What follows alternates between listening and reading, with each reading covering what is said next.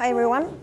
Uh, in this talk, I'm going to show you some pre preliminary results that we got from a project that I'm carrying out with Carles and Ines, titled Chromosomal Inversion and Local Adaptation in Sympatric Quails. Uh, common quails are migratory birds that live uh, in grassland, both natural, uh, natural and uh, anthropogenic, and they are widely distributed in all the Palearctic region. But in this study, we focus on samples from the Iberian Peninsula, from Italy, from Morocco, and from the Macaronesian island. In this region, there are different phenotypes, and two phenoty uh, phenotypic traits that are variable are the male throat coloration. There are some individuals that are dark, others that are fair, but there are some intermediate um, individuals as well.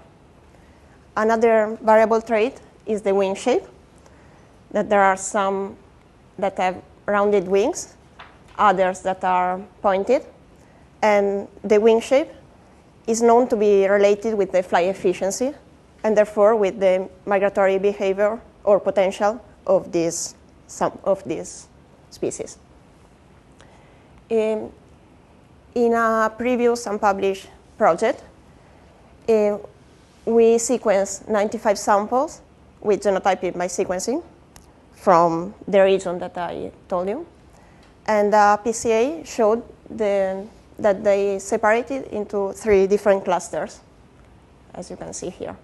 This cluster, the C1, is exclusive to Azore, uh, while the other two are present in all the distributions, distribution, but cluster B, uh, mainly in the southern part of the Iberian Peninsula, in Morocco, and the Macaronesian island, while the other, cluster A, uh, in the northern part of this, this distribution. Um, after that, we related this cluster with the phenotypic trait that I told you before. And um, in relation to the wing shape, we can see that this cluster A, those samples, have a more pointed wing that should confer them um, higher migratory potential, while in the other two clusters, uh, wings are more rounded, more similar to this one. In relation to the throat coloration, we can see that in, the, in cluster A, uh, most samples are fair, while in the other two, uh, most are dark. Um, as cluster C is exclusive to Azore, in the following analysis, we didn't uh, consider this. We just compared these two. So uh, in this Manhattan plot, where you can see along this axis the genetic differentiation and along this one the different chromosomes, you can see that there is a large region in chromosome 1 with a high number of SNPs that are outlier, and they are likely to be under selective pressure. Uh, we think that this um, region could represent uh, an inversion, and uh, there is a growing, growing uh, evidence in other taxa that inversion are, um, play an important role in local adaptation.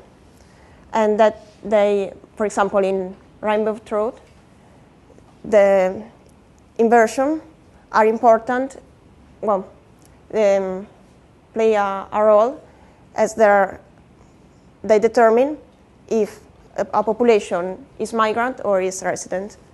And uh, in other cases, uh, inversion are related with the pigmentation or the coloration of individuals.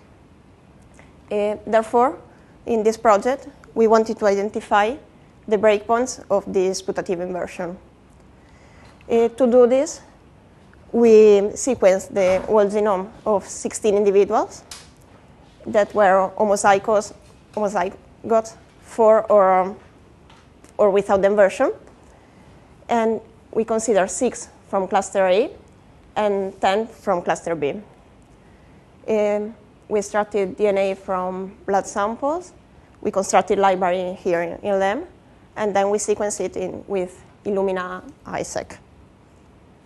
Um, after obtaining the, the raw read, we pre-process the data, and we mapped them against the Japanese quail, quail genome, as there is no genome available for the common quail. Then we call variants, and finally we obtain um, 18 million SNPs that allowed us to carry out uh, some uh, population structure analysis, such as PCA and ADMIXTURE. So um, the PCA revealed that the main division was between sample without the inversion, that were the previous cluster A, and those with the putative inversion.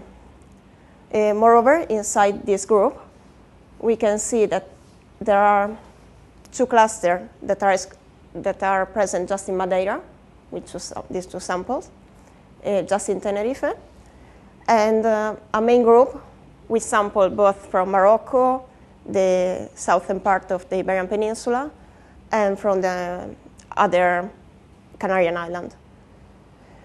Um, it's important to notice that it, this group and this group have samples that um, um, proceed from the same locality. They are not um, separated geographically. So um, after that, we carry out, carry out some analysis with ADMIXTURE, where, well, where we can see a similar pattern with K, uh, K set to, to 2. The main separation is among individual without and with inversion, and with K set to 4, uh, those samples from Tenerife and Madeira, these ones, are separated from the other samples.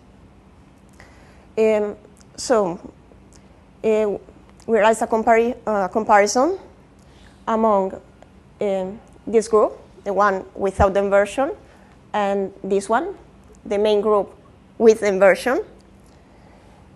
And um, as you can see, as in, in this Manhattan plot, uh, we see a very large region, the same one as in the previous one, that is a very large differentiation compared to the rest of the genome. And um, moreover, we see other um, regions that could be other structural variants, or they could be under, um, like for example this one, under some kind of selection. So the shape of this um, region, the putative inversion, is like a uh, U, as you can see better here, that is compatible with the idea of, um, with the fact that there could be some recombination in among sample with and without the inversion. Um, well, this could occur because um, the um, chromosome without the inversion can recombine with the one with the inversion because the last one could form like a, a loop. And so the central part of the inversion can um, experience some recombination while the extreme parts, the breakpoints, can't. So after that, we realized some other comparisons, like with the main group with the inversion against uh, one of those groups, in this case, the, the cluster with sample from Tenerife. And on chromosome 1, we see this trend that is um, suggests that there is recombination. Uh, in this plot, there is there are many differentiated regions, and there is a high variability. But this one could be due to the fact that we have just two samples in, in this cluster. On the other side, if we compare samples inside the group without the inversion, we see that on the chromosome 1, uh, there is no sign of this inversion.